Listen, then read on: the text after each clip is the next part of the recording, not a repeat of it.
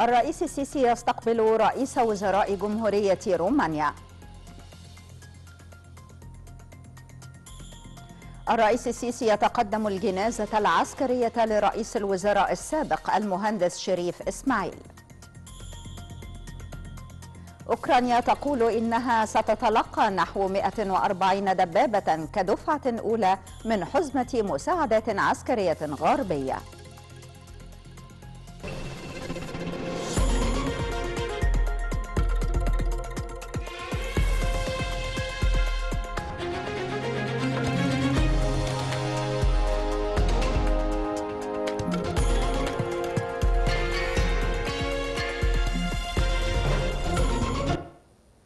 الرابعة عصرا بتوقيت القاهرة الثانية بتوقيت جرينتش موعد بانوراما إخبارية شاملة تأتيكم من النيل. مرحبا بكم. استقبل الرئيس عبد الفتاح السيسي اليوم نيكولاي تشويكا رئيس وزراء رومانيا بحضور دكتور مصطفى مدبولي رئيس الوزراء وسامح شكري وزير الخارجية والمهندس أحمد سمير وزير التجارة والصناعة. وكذلك فلوريس سبارتو وزير الاقتصاد الروماني وميهالا ستوبار سفير رومانيا بالقاهرة. كما استقبل السيد الرئيس اليوم أعضاء الأمانة العامة الجديدة لاتحاد الصحفيين العرب وذلك برئاسة السيد مؤيد اللامي رئيس الاتحاد ونقيب الصحفيين العراقيين. وبحضور السيد كرم جبر رئيس المجلس الأعلى لتنظيم الإعلام والسيد ضياء رشوان نقيب الصحفيين والرئيس الشرفي لاتحاد الصحفيين العرب.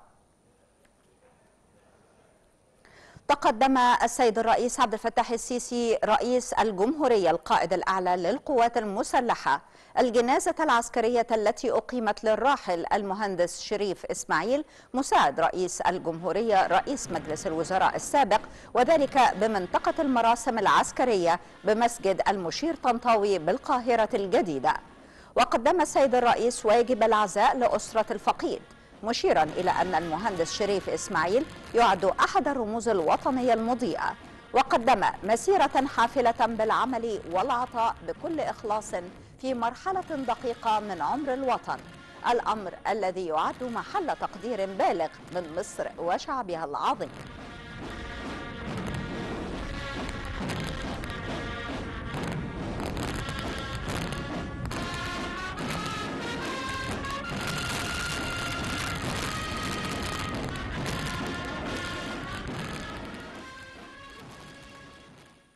كان الدكتور شريف إسماعيل قد تولى منصب رئاسة الوزراء وتحمل المسؤولية في أصعب الظروف خلال الفترة من التاسع عشر من سبتمبر من عام 2015 وحتى الخامس من يونيو من عام 2018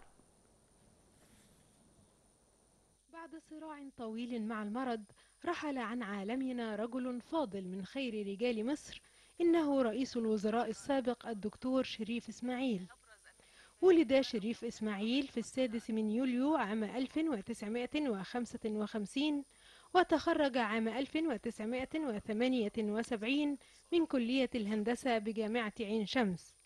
وبدأ العمل بشركة إم بي منذ عام 1979 حتى عام 2000 إلى أن وصل لمنصب مدير عام الشؤون الفنية وعضو مجلس الإدارة ثم تدرج ليصبح وكيل وزارة البترول لمتابعة شؤون وعمليات البترول والغاز حتى عام 2005 وتولى إسماعيل منصب رئيس مجلس إدارة شركة إيجاز حتى 2007 ثم انتقل ليكون رئيس مجلس إدارة شركة جنوب الوادي القابضة للبترول منذ عام 2007 وحتى عام 2013 وفي 2013 تولى منصب وزير البترول حتى عام 2015 ليصبح بعد ذلك رئيسا للوزراء لمدة خمس سنوات. قاد فيها مسيرة العمل بمجلس الوزراء في ظل ظروف وتحديات جسام بكل كفاءة واقتدار. وتولى إسماعيل منصب مساعد رئيس الجمهورية للمشروعات القومية منذ 2018 حيث تحمل المسؤولية في أصعب الظروف وكان على قدر المسؤولية الصعبة. نظمت القوات المسلحة زيارة لوفد برلماني من لجنة الدفاع والأمن القومي وبعض السادة رؤساء اللجان بمجلس النواب لإحدى القواعد الجوية. وتفقد الوفد عددا من المناطق بالقاعدة. واستمعوا لشرح منظومة العمل الاحترافية التي يعمل بها رجال القوات الجوية للدفاع عن سماء مصر ضد أي عدائيات. تأتي الزيارة في إطار حرص القيادة العامة للقوات المسلحة على تحقيق التواصل المستمر مع لجنة الدفاع والأمن القومي بمجلس النواب. لاستعراض جهود القوات المسلحة في تطوير قدراتها وإمكانياتها بمختلف أفرعها الرئيسية وأسلحتها التخصصية للحفاظ على أمن الوطن وصون مقدساته نظمت القوات المسلحة زيارة توعوية وترفيهية لبعض طلاب الجامعات الأهلية والتكنولوجية إلى مدينة الجلالة. وأشاد الطلبة بالجهود المبذولة لإنشاء تلك المدينة التي يتوفر بها جميع مقومات المدن الجديدة بأعلى معايير الجودة العالمية. كما أعرب الطلاب عن تقديرهم للقوات المسلحة التي أتاحت لهم تنفيذ تلك الزيارة لمتابعة ما تم إنجازه على أرض الواقع. جاء ذلك في إطار حرص القوات المسلحة على دعم روح الولاء والانتماء لشباب الجامعات والاطلاع على المشروعات القومية التي تشرف على تنفيذها القوات المسلحة. نفى المركز الإعلامي لمجلس الوزراء صحة ما تردد على صفحات التواصل الاجتماعي عن صدور قرار بتأجيل استئناف الفصل الدراسي الثاني في جميع مدارس الجمهورية. وشددت وزارة التربية والتعليم والتعليم الفني على استئناف الدراسة بالفصل الدراسي الثاني في الحادي عشر من فبراير دون تأجيل وفقا للخريطة الزمنية المحددة للعام الدراسي. وناشدت وزارة التربية والتعليم وسائل الإعلام ومرتدي مواقع التواصل الاجتماعي تحري الدقة والموضوعية.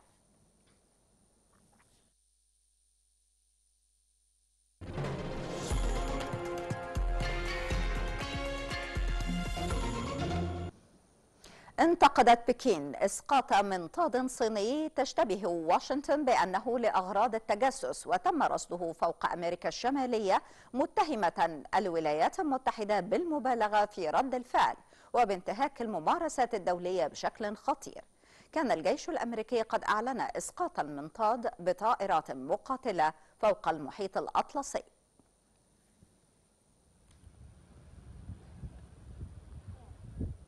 في خطوة ستزيد حتما من تصاعد التوتر بين بكين وواشنطن أسقطت مقاتلة أمريكية المنطاد الصيني قبالة الساحل الشرقي بعدما حلق لأيام عدة فوق الولايات المتحدة بغرض التجسس بحسب تقدير وزارة الدفاع.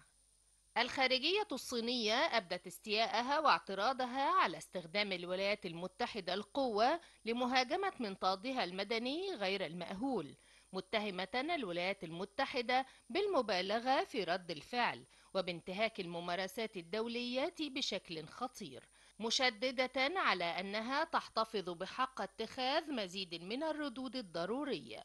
تنديد بكين جاء بعد ساعات من إعلان وزير الدفاع الأمريكي لويد أوستن إسقاط المنطاد بتوجيه من الرئيس جو بايدن وذلك على بعد نحو ستة أميال بحرية قبالة الساحل الأمريكي المطل على المحيط الأطلسي فوق مياه ضحلة نسبيا فيما قد يساعد جهود استعادة أجزاء من المنطاد خلال الأيام المقبلة. عندما أبلغت بأمر المنطاد أمرت البنتاجون بإسقاطه في أسرع وقت ممكن. خلص البنتاجون إلى أنه سيحدث ضررا على الأرض لدى إسقاطه وقرر أن أفضل توقيت لفعل ذلك عندما يكون فوق الماء. ولقد أسقطناه بنجاح. وأحيي طيارين الذين فعلوها. وجاء إسقاط المنطاد بعد فترة وجيزة من أمر الحكومة الأمريكية بوقف الرحلات الجوية من وإلى ثلاثة مطارات في ساوث كارولاينا. هي ويلمنغتون وميرتل بيتش وتشارلستون. يوم بسبب جهود تتعلق بالأمن القومي لم تكشفوا عنها وجرى استئناف الرحلات لاحقا. وكانت واشنطن قد وصفت تحليق المنطاد بأنه انتهاك واضح للسيادة الأمريكية. وقال مسؤول كبير بالإدارة الأمريكية بعد إسقاط المنطاد إن الحكومة الأمريكية تحدثت مباشرة مع الصين بشأن هذا الإجراء وقال المسؤول إن وزارة الخارجية أبلغت الحلفاء والشركاء في جميع أنحاء العالم.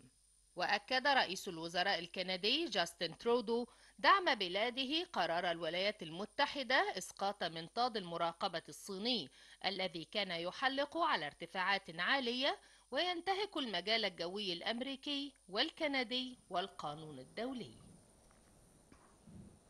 أعلنت أوكرانيا أنها ستتلقى ما بين 120 إلى 140 دبابة كدفعة أولى من 12 دولة من حلفائها الغربيين وقال وزير الخارجية الأوكراني ديمترو كوليبا إن كييف ستعمل على توسيع عضوية تحالف إمدادها بالدبابات Можу лише відзначити, що у першій أود أن أنوه أن أول دفعة من المساعدات ستتلقاها القوات المسلحة الأوكرانية. ستشمل ما بين 120 إلى 140 دبابة غربية وهي من طراز ليبارد 2 وتشالنجر 2 وإم 1 أبرامز.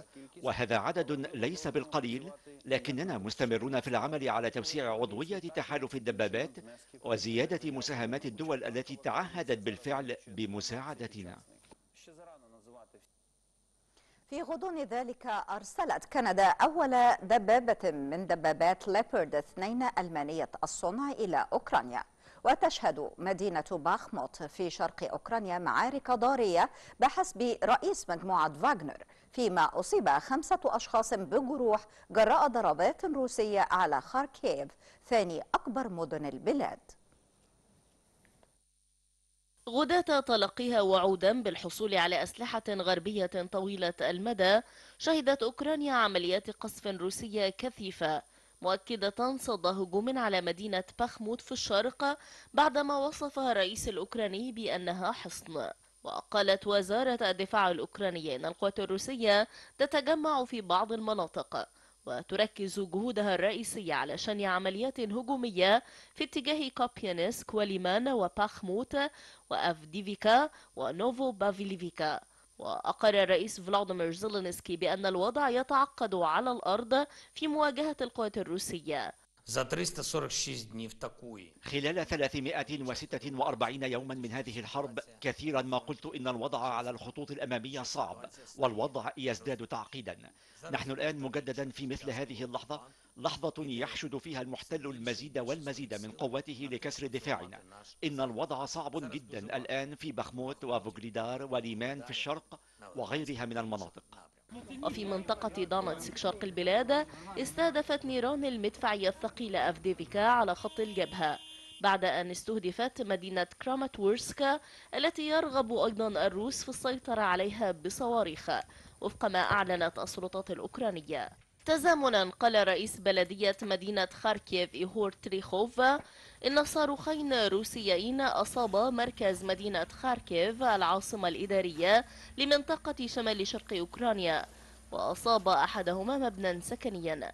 يأتي ذلك فيما أرسلت كندا أول دبابة من دبابات ليوبارد 2 الموعودة إلى أوكرانيا حسب ما أعلنت وزيرة الدفاع أنيتا أناند التي أكدت أن طائرة تابعة للقوات الجوية الكندية أقلعت من هاليفاكس مع أول دبابة ليوبارد 2 تمنح لأوكرانيا مشددة على تضامن كندا مع أوكرانيا وأنها ستواصل تزويد القوات المسلحة الأوكرانية بالمعدات. كانت كندا قد أعلنت نهاية يناير قرارها تسليم أربع دبابات ليوبارد 2 الألمانية الصنع إلى أوكرانيا غداة إعلانات مماثلة من جانب عدد من الدول الغربية.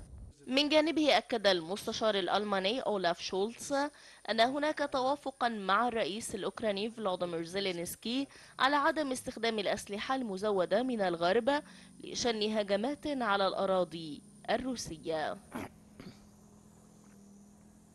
اختتم البابا فرانسيس اليوم مهمة سلام في جنوب السودان وحث الناس على تحصين أنفسهم ضد الكراهية.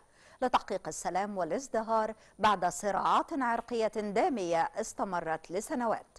ترأس بابا الفاتيكان قداسا في الهواء الطلق عند ضريح بطل تحرير جنوب السودان جون جارانج الذي توفي في تحطم هليكوبتر في عام 2005 قبل أن تنال الدولة ذات الغالبية المسيحية الاستقلال عن السودان في عام 2011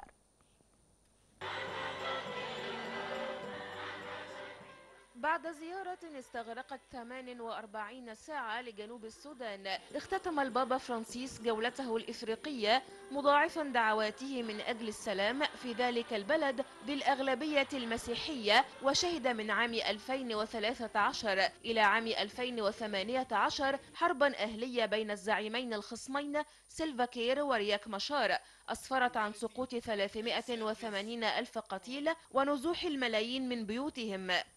وخلال قداس بالهواء الطلق في جوبا دعا الحبر الأعظم إلى إلقاء السلاح وحماية اللاجئين في هذا البلد الذي يمزقه البؤس وأعمال العنف المستمرة على الرغم من اتفاق السلام الموقع في عام 2018 نشدد على ضرورة إحلال السلام في جنوب السودان. الحرب هنا أودت بحياة الكثيرين وشوهت معالم الحياة. واستنزفت الموارد الاقتصادية وزادت معاناة المواطنين. لا بد من مساعدة اللاجئين الذين أثرت عليهم الحروب الأهلية في بلدانهم سلبا وأطاحت بطموحاتهم. يجب أن يحل السلام محل الحرب التي تدمر ما يبنيه السلام. وخلال زيارته أولى البابا فرانسيس اهتماما ملحوظا بضرورة الحفاظ على حقوق الفتيات والنساء داعيا إلى حماية المرأة والنهوض بها في جنوب السودان. وقبل جوبا قام بابا الفاتيكان بزيارة استغرقت أربعة أيام إلى جمهورية الكونغو الديمقراطية أدان خلالها الأعمال الوحشية الفظيعة للمجموعات المسلحة في شرق البلاد. وتعد هذه الجولة الإفريقية الرحلة الأربعين للبابا الأرجنتيني إلى الخارج منذ انتخابه في عام 2013 والثالثة إلى إفريقيا جنوب الصحراء. يواصل القبارصة الإدلاء بأصواتهم لاختيار رئيس جديد للبلاد في انتخابات من المرجح أن تسفر عن فائز واضح ما يمهد الطريق لإجراء جولة ثانية في الثاني عشر من فبراير. يتنافس 14 مرشحا على الفوز بالرئاسة ولكن من المرجح أن ينحصر السباق بين ثلاثة مرشحين. في سباق يشهد تنافسا محموما يختار القبارصة رئيسا جديدا للبلاد في انتخابات من غير المرجح أن تسفر عن فائز واضح مما يمهد الطريق لإجراء جولة ثانية في الثاني عشر من فبراير. ويدلي نحو 561 ألف قبرصي يوناني بأصواتهم في الانتخابات التي تجرى بعد انتهاء رئاسة الرئيس المحافظ الحالي نيكوس أناستاسيادس التي استمرت فترتين. ويتنافس 14 مرشحا على الفوز بالرئاسة لكن من المرجح أن ينحصر السباق بين ثلاثة مرشحين بارزين. مع انصراف اهتمام الناخبين عن الانقسام المزمن للجزيرة وتركيزهم على مكافحة الفساد والملف الاقتصادي. وتشير استطلاعات الرأي إلى عدم حصول أي من المرشحين البارزين على أغلبية مطلقة. مما يؤدي إلى إجراء جولة إعادة فيما يرى مراقبون أن وزير الخارجية السابق نيكوس خريستودوليدس هو المرشح الأوفر حظا خاصة أنه يحظى بتأييد الأحزاب الوسطية ويتصدر الاستطلاعات لكن الفارق بينه وبين بقية منافسيه لا يخوله حسم الاستحقاق من الجولة الأولى. في المقابل يبدو اهتمام الناخبين منصبا على فضيحة تلقي جوازات السفر مقابل استثمارات وعلى تحديات الهجرة غير النظامية وتداعياتها على الموارد العامة أكثر منه على انقسام تعانيه الجزيرة منذ عقود. لكن تتبع الأحزاب الوسطية الداعمة لخريستيو دوليدس نهجا متشددا إزاء محادثات إعادة توحيد الجزيرة في مقابل مواقف أقل تشددا لخصومه على هذا الصعيد. في حين يعتبر المحللون أن الوعود التي أطلقت في الحملة الانتخابية بالقضاء على الفساد وتحسين اقتصاد البلاد تحتل مكانة أساسية لدى الناخبين. اندلعت مواجهات بين آلاف المحتجين في بيرو وقوات الشرطة خلال ما وصف بأكبر تظاهرة في العاصمة ليما. منذ بدء الاحتجاجات في ديسمبر الماضي ضد الرئيسة دينا بولوراتي. في وسط العاصمة البيروفية ليما شارك آلاف المحتجين فيما وصف بأكبر تظاهرة منذ أن بدأت في ديسمبر الماضي التعبئة ضد الرئيسة دينا بولوارتي التي سقط خلالها نحو خمسين قتيلا. في غضون ذلك تجمع أعضاء نقابات للفلاحين ومنظمة مدنية وحركات طلابية جاءوا من منطقتي كوسكو وبونو في الأنديز وعدد من سكان ليما في ساحة دوس دي مايو للمطالبة مجددا باستقالة بولوارتي وحل البرلمان. واستخدمت الشرطة الغاز المسيل للدموع لتفريق المتظاهرين الذين تقدموا باتجاه مبنى البرلمان والقصر الحكومي. بينما تصدى متظاهرون ارتدوا خوذا وحملوا دروعا يدوية الصنع للشرطة بإطلاق ألعاب نارية. في المقابل نظمت مظاهرة أخرى في شوارع وسط مدينة ليما شارك فيها نحو خمسين شخصا أطلقوا على أنفسهم اسم الفيلق الوطني مؤكدين أنهم يدافعون عن الشرطة البيروفية في مواجهة من وصفوهم بالإرهابيين المخربين. الاحتجاجات جاءت بعد قرار للبرلمان البيروفي بتعليق أي مناقشات تهدف إلى تقديم موعد الانتخابات الرئاسية والتشريعية لتجرى في الثالث والعشرين من أكتوبر القادم. ورفض المجلس التشريعي للمرة الرابعة اقتراح تقديم موعد الانتخابات الذي قدمته الرئيس بولوارتي.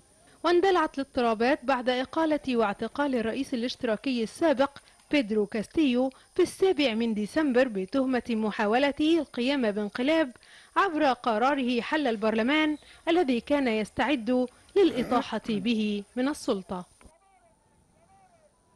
انخفضت درجات الحرارة لمستويات قياسية كما اجتاحت رياح قوية شمال شرقي الولايات المتحدة ما تسبب في أوضاع تشكل تهديدا للحياة. وسجلت منطقة ماونت واشنطن بولاية نيو هامبشاير رياحا باردة انخفضت فيها درجة الحرارة لأقل من 78 درجة مئوية تحت الصفر وهي الأدنى على الإطلاق في الولايات المتحدة. موجة من الطقس هي الأسوأ من نوعها تجتاح الولايات المتحدة مع تسجيل درجات حرارة قياسية. حيث شهدت البلاد انخفاض درجة الحرارة وطقس شديد البرودة كما اجتاحت رياح قوية شمال شرق الولايات المتحدة تسببت في أوضاع تشكل تهديدا للحياة.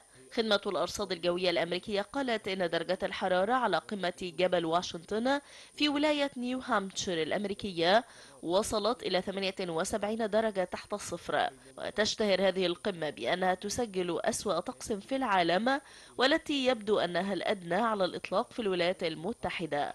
وقال ممثل مقاطعة هامدن بولاية ماساتشوستس أن الرياح العاتية أسقطت شجرة على سيارة في ساوث ويك بالولاية. مما أدى إلى تحطيم السيارة ومقتل رضيع. وتم نقل قائد السيارة إلى المستشفى في حالة خطيرة. وفي بوستن عطل المسؤولون الدراسة في المدارس العامة بسبب توقع انخفاض درجات الحرارة إلى أقل من 23 درجة تحت الصفر لتحطم الرقم القياسي المسجل منذ أكثر من قرن. واتخذت عدة مدن إجراءات طارئة لمساعدة السكان بما في ذلك فتح مراكز تدفئة كما أمرت حاكمة ولاية ماساتشوستس ماورا هيلي ببقاء محطة السكك الحديدية الرئيسية في مدينة بوستن مفتوحة طوال الليل لتكون بمثابة مأوى للطوارئ ولا سيما للمشردين لتدفئتهم. وقالت هيئة الأرصاد الوطنية إنه من المتوقع ألا يستمر الطقس شديد البرودة لفترة طويلة مع توقع ارتفاع درجة الحرارة بشكل ملحوظ. تدريجيا. شهد معرض القاهرة الدولي للكتاب في دورته الرابعة والخمسين إقبالا جماهيريا كبيرا خاصة مع بدء العد التنازلي, التنازلي لإغلاق أبوابه غدا الاثنين. تشمل أنشطة المعرض إقامة الندوات والأمسيات والورش الفنية وغيرها من الفعاليات. وسط إقبال جماهيري غير مسبوق تخطى أكثر من مليونين زائر. معرض القاهرة الدولي للكتاب يبقى مقصدا رئيسيا لمرتادي ومحبي القراءة والثقافة والاطلاع في ظل تنوع كبير من مختلف دور النشر على مستوى 53 دولة عربية وأجنبية. فضلا عن الأجنحة الخاصة بالوزارات والهيئات المختلفة. الدورة ال 54 لمعرض القاهرة الدولي للكتاب. البطل الأول فيها هو الجمهور فعلا. المبهر اللي أبهرنا بإقباله وبإصراره على على على الحضور للمعرض. آه، إقبال آه، جماهيري كثيف جدا. آه، بيؤكد على اهتمام ال- الجمهور واهتمام المواطن المصري بالثقافة. اقتناء الكتب ليس هو الهدف الأوحد لمرتاد المعرض من مختلف الأعمار والتوجهات ولكن هناك الفعاليات الثقافية واللقاءات الفكرية المختلفة بالإضافة إلى الفقرات الفنية والترفيهية وكذلك ورش تعليم الأطفال الرسوم والفنون. معرض الكتاب آه، يهتم بالثقافة وبالكتاب وبالوعي الثقافي لدى جماهير الأمة المصرية والعربية والإسلامية. عرس ثقافي وفني كبير داخل معرض القاهرة الدولي للكتاب في دورته الرابعة والخمسين. بطله الجمهور الذين استمتعوا كثيرا بما يعرض طيلة فعاليات المعرض على كافة المستويات. المعرض في مكانه الجديد السنة دي أنا شايف إن هو مكانه محترم جدا. آه، في نقلة نوعية عن اللي كان حاصل قبل كده في السنين اللي فاتت. مع الاحتفاظ بان قد إيه المعرض اللي كان في مدينة نصر قد إيه اسرى حياتنا الثقافية كلها وفي خلال السنين الكتيره اللي فاتت. معرض حلو قوي وعجبني قوي. أنا أصلا من صغري وأنا بحب أقرأ كتب فأنا بحب أجي مع بابايا كل سنة علشان نجيب كتب وكده. وعجبني إن في من بلاد كتير قوي إن أنا مش جاية حاطة في دماغي إن أنا هجيب من حتة معينة لأ هو أنا بلف. بصراحة النظام كويس جدا كل شيء منظم.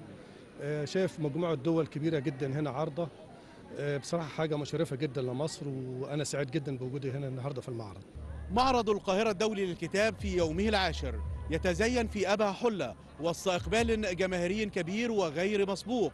هذا الإقبال يؤكد على أن الثقافة المصرية تمثل الأولوية الأولى وأن الكتاب خير جليس وخير صديق عند المصريين وسط تنوع كبير في مختلف الفعاليات الثقافية والفنية. من معرض القاهرة الدولي للكتاب محمد عبد الصبور النيل.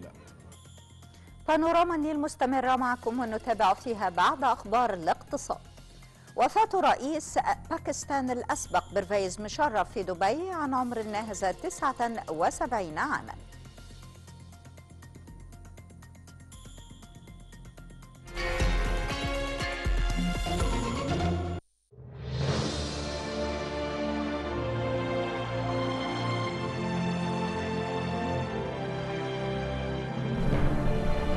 تنفيذا لتوجيهات السيد الرئيس عبد الفتاح السيسي رئيس الجمهورية بالتوسع في إنشاء فروع التوثيق تيسيرا على المواطنين وللاستفادة من منظومة التحول الرقمي. من حقك تعرف أنه تم افتتاح 114 فرع توثيق داخل منافذ البريد المصري في أنحاء الجمهورية. والفروع دي بتشتغل بنظام الشباك الواحد علشان نوفر عليك الوقت ونقضي على الإجراءات الروتينية. والفروع دي بتقدم كل خدمات التوثيق.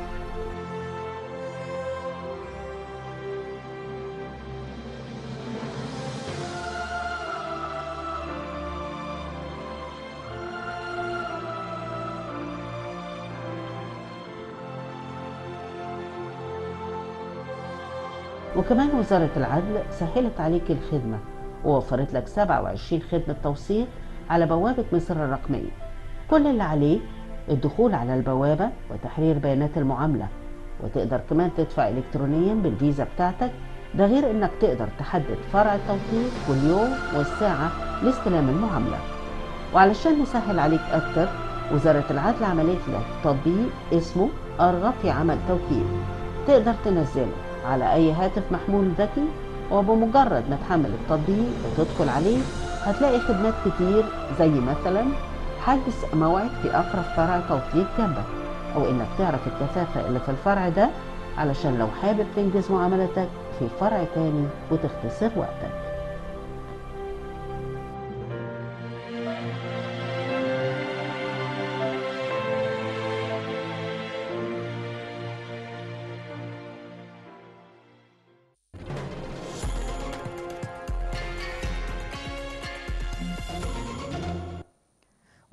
أخبار المال والأعمال تفاصيل أخبار الاقتصاد في بانوراما الرابعة ومباشرة إلى محمد عبد الحكم. إليك محمد.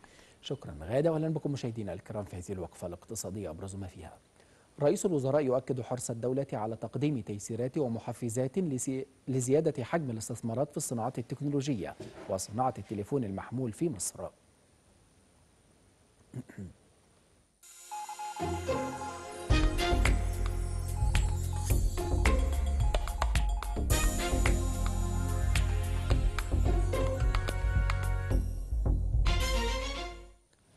أكد رئيس مجلس الوزراء الدكتور مصطفى مدبولي حرص الدولة على تقديم مختلف التيسيرات والمحفزات التي من شأنها دعم وتعزيز دور قطاع الصناعة والنهوض به بالنظر لما يمثله هذا القطاع من أهمية بالنسبة للاقتصاد المصري. جاء ذلك خلال اجتماع لمتابعة جهود توطين الصناعات التكنولوجية وصناعات التليفون المحمول في مصر بحضور عدد من الوزراء والمسؤولين. وأضاف مدبولي أنه جاري تفاوض والتنسيق مع إحدى الشركات العالمية الكبرى لإنشاء مصنع لهذا الغرض مشيرا إلى أن مصر تستهدف الوصول بنسبة المكون المحلي في تلك الصناعة إلى 40%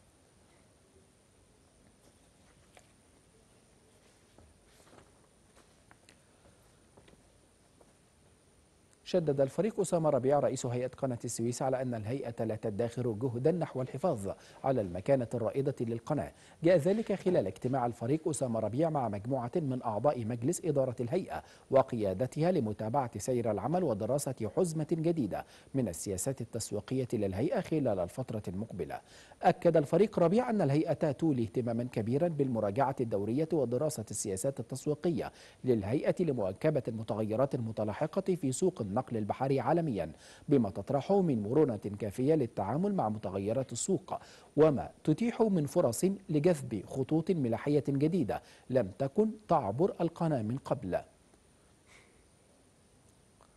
أكد وزير الإسكان عاصم الجزار أن منح بعض التيسيرات لآليات التعامل مع الأراضي الخدمية والاستثمارية بالمدن الجديدة يأتي في إطار حرص هيئة المجتمعات العمرانية على دعم المستثمرين الجادين والعمل على جذب المزيد من فرص الاستثمار بالمدن الجديدة. تهدف تلك الاستثمارات إلى إقامة مختلف أنواع المشروعات التي تسهم في تنمية وتطوير تلك المدن وبالتالي جذب المواطنين للإقامة بها وتحقيق الهدف المرجو في التوسع العمراني. جاء ذلك خلال اجتماع مجلس إدارة هيئة المجتمعات العمرانية لبحث بعض التيسيرات للمستثمرين. أعلنت وزارة التخطيط والتنمية الاقتصادية خطة المواطن الاستثمارية لمحافظة الشرقية لعام 2022-2023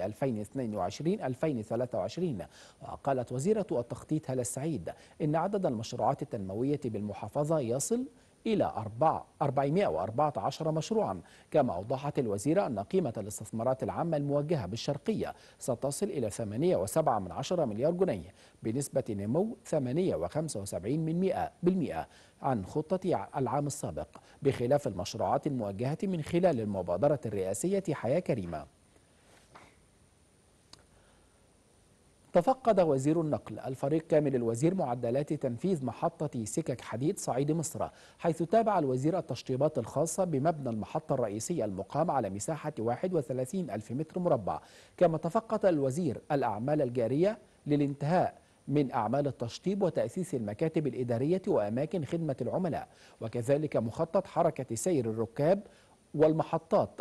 وخلال الجولة التقى الوزير بالعمال والمهندسين المشاركين بالمشروع موجها بضرورة الاستغلال الأمثل لكل المساحات بالمحطة وتكثيف الأعمال بها. أكد وزير الموارد المائية والري هاني سويلم عمق العلاقات المصرية التنزانية على كل الأصعدة جاء ذلك خلال لقاء الوزير بنظيره التنزانية عقب وصوله والوفد المرافق له إلى تنزانيا.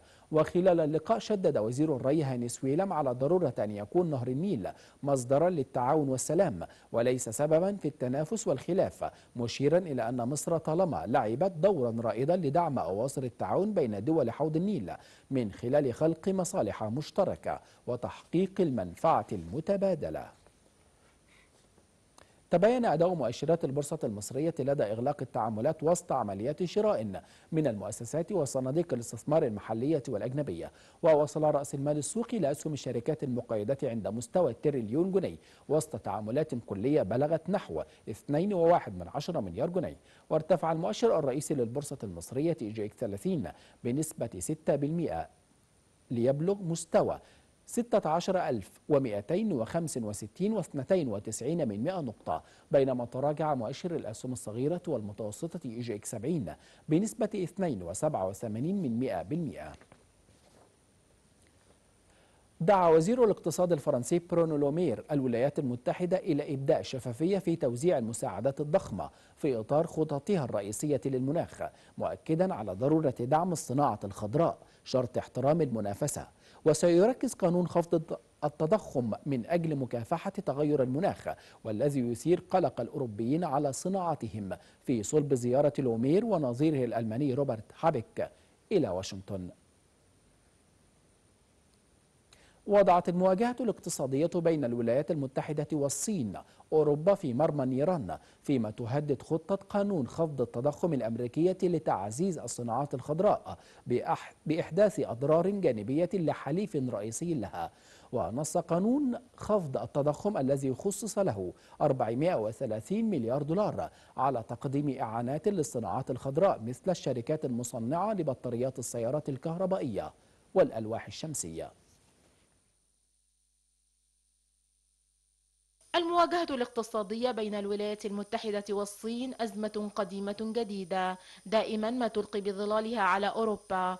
فواشنطن تهدد بخطة قانون خفض التضخم الأمريكية لتعزيز الصناعة الخضراء والتي ستحدث أضرارا جانبية لحليف رئيسي لها. الخطة الأمريكية ستكون على قائمة زيارة وزيري الاقتصاد الفرنسي برونو لومير والألماني روبرت هابيك لواشنطن الثلاثاء وذلك قبل أن يعد الاتحاد الأوروبي رد رده على هذه الخطة في مناسبة انعقاد قمة رؤساء دول وحكومات التكتل يومي التاسع والعاشر من فبراير الجاري ونص قانون خفض التضخم الذي خصص له 430 مليار دولار على تقديم إعانات للصناعات الخضراء مثل الشركات المصنعة لبطاريات السيارات الكهربائية والألواح الشمسية على غرار النموذج الصيني للإعانات على أراضيها شرط أن تصنع الشركات هذه المنتجات في الولايات المتحدة. وتواصل واشنطن مشروعاتها وخططها الاقتصادية حيث تشمل هذه المشروعات خطة الإنقاذ الأمريكية التي ساعدت في الحفاظ على الاقتصاد خلال جائحة كورونا ومشروع قانون ضخم للإنفاق على البنية التحتية وقانونا لدعم تصنيع أشباه الموصلات وغيرها من الصناعات المتطورة وقانون خفض التضخم الذي يهدف إلى تحفيز صناعة السيارات الكهربائية وقطاعات الاقتصاد الأخضر الأخرى. الخبراء يرون أن الأهداف الرئيسية للقانون الأمريكي يتمثل في استبعاد الموردين الصينيين من سلاسل إنتاج الطاقة النظيفة حيث تشكل الصين لاعبا رئيسيا في قطاع السيارات الكهربائية مع سيطرتها على 78% من الإنتاج العالمي لخلايا البطاريات. نهاية الوقفة الاقتصادية. نعود من جديد إلى زميلتي غادة فاروق لك. غادة. أشكرك محمد. توفي الرئيس الباكستاني السابق برفيز مشرف اليوم بعد صراع طويل مع المرض في مستشفى بدبي وبعد سنوات قضاها في المنفى الاختياري. أعلن الجيش الباكستاني أن مشرف قائد الجيش السابق الذي تنحى عن السلطة في عام 2008 في وجه معارضة واسعة لحكمه توفي عن 79 عاماً. بعد أكثر من ست سنوات قضاها في منفاه الاختياري بدبي توفي الرئيس الباكستاني وقائد الجيش الأسبق بيرفيز مشرف عن عمر ناهز 79 عاما. وسارع كبار أركان الجيش الباكستاني إلى التعبير عن شعورهم بالحزن لوفاة مشرف الذي قاد البلاد طوال تسع سنوات تقريبا. اعتلى بيرفيز مشرف حكم باكستان عام 1999 في انقلاب غير دموي. بعدما حاول نواز شريف رئيس الوزراء آنذاك إقالة بيرفيز من منصب قائد الجيش الذي عينه فيه شريف قبل عام واحد فقط. وخلال حكمه الذي استغرق ما يقرب من عشر سنوات ساهم بيرفيز مشرف في تحقيق تقدم اقتصادي لبلاده ونجا من ثلاث محاولات اغتيال نفذها تنظيم القاعدة ومتطرفون متشددون بسبب تحالفه القوي مع الولايات المتحدة في قتالها ضد القاعدة وحركة طالبان الأفغانية. تنحى الرئيس الباكستاني الأسبق بيرفيز مشرف عن الحكم عام 2008 تجنبا لمحاولة عزله من البرلمان الذي سيطر عليه معارضوه. فواجه مشرف اتهامات بالخيانة وإجراءات نيابية للمساءلة. لكن السلطات الباكستانية سمحت لمشرف بمغادرة البلاد إلى لندن لتلقي العلاج. وحاول بيرفيز مشرف الرجوع إلى المشهد السياسي فعاد إلى باكستان عام 2013 لخوض الانتخابات البرلمانية. لكن طموحات الرئيس الباكستاني الأسبق باءت بالفشل بصدور قرار بعدم أهليته للترشح. وسمح لمشرف مرة أخرى بمغادرة البلاد عام 2016 فقصد دبي التي تلقى بها العلاج في صراع طويل مع المرض. استمر حتى وفاته. بانوراما النيل ما زالت مستمرة معكم. نتابع فيها بعد أخبار الرياضة. مهرجان للفوانيس في الصين احتفالا بالسنة القمرية الجديدة.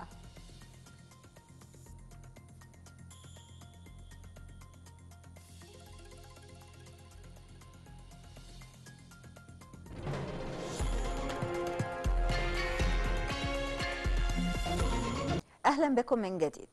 يقا- يقام في مقاطعة سيشوان جنوب غربي الصين مهرجان كبير للفوانيس احتفالا بالسنة القمرية الجديدة. يعد مهرجان الفوانيس الصيني كل عام وقتا للمصالحة ولم شمل العائلات والتواصل الاجتماعي. بمشاهدة مهرجان الفوانيس يمكن للصينيون أن يشعروا بأجواء السنة القمرية الجديدة. حيث يقام في مدينة زيغونغ التابعة لمقاطعة سيشوان جنوب غربي الصين. مهرجان كبير للفوانيس احتفالا بعيد الربيع أو السنة القمرية الجديدة. يتميز المهرجان بالأضواء الملونة التي تحدد شكل المباني وتشكل صورا لأشكال الأبراج الحيوانية العملاقة في التقويم الصيني. وللجمعيات الصينية تاريخ طويل في صناعة الفوانيس التي تعبر عن تاريخ الصين وثقافته ويعد مهرجان الفانوس الصيني بأضوائه المبهرة وأشكاله المتعددة وقتا للمصالحة ولم شمل العائلات الصينية والتواصل الاجتماعي. مهرجان الفانوس يجسد الثقافة الشعبية العيد الربيع لدينا ويعد دائما تعبيرا عن سعي الناس لحياة أفضل ويشعرنا بأجواء السنة القمرية الجديدة. وتتعدد أشكال الفوانيس من ديناصورات مضاءة في السماء إلى الأرنب العملاق الذي يرمز إلى السنة القمرية الجديدة في الصين. وأثناء المهرجان يضاء كل ركن في كل شارع بمدينة زيغونغ بألوان وأشكال وأحجام متعددة من الفوانيس بحيث يطلق عليها كل عام مدينة الألف ضوء. تعد صناعة الفوانيس واحدة من أكبر الصناعات في الصين حيث يعمل بها كعمالة منتظمة ما لا يقل عن مئة ألف عامل. ولا زال بعض صناع الفوانيس القدامى يقومون بتشكيلها يدوياً. ثقافة الفوانيس لها جذور في أنحاء متفرقة من الصين وما يجعل مصابيحنا متميزة هو مرونتها وقدرتها على سرد قصص من الصين بأضوائها المبهرة والملونة. ارتبط مهرجان الفوانيس ارتباطا وثيقا بالحب في الصين. ففي العصور القديمة كان هناك حظر تجوال صارم يهدف إلى إبقاء الناس في منازلهم بعد حلول الظلام. ولكن خلال مهرجان الفوانيس تم رفع حظر التجوال حتى يتمكن الناس من الخروج ليلا لمشاهدة الفوانيس وكان ذلك الوقت جيدا للقاء الأحبة. وفي الثقافة الصينية فإن مشاهدة الأضواء ضرورة للاحتفال بالخير والجمال ولطرد الظلام والشر. ختام بانوراما النيل وإليكم تذكرة بأبرز العناوين. الرئيس السيسي يستقبل رئيس وزراء جمهورية رومانيا. الرئيس السيسي يتقدم الجنازة العسكرية لرئيس الوزراء السابق المهندس شريف إسماعيل. أوكرانيا تقول إنها ستتلقى نحو 140 دبابة كدفعة أولى من حزمة مساعدات عسكرية غربية. المزيد من التفاصيل على موقعنا على الإنترنت نايل دوت إي جي. شكرا لحسن المتابعة وإلى اللقاء.